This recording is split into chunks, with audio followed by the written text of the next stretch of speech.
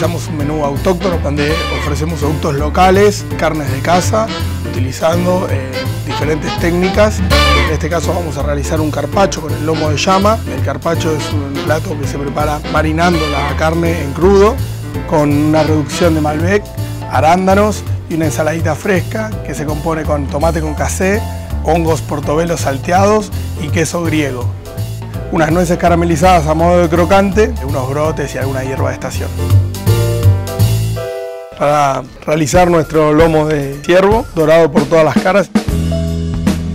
Después realizamos una muselín de repollo colorado, un tian de manzanas que hemos salteado en curry junto con morcilla. También doramos unas gírgolas para acompañar eh, nuestro plato.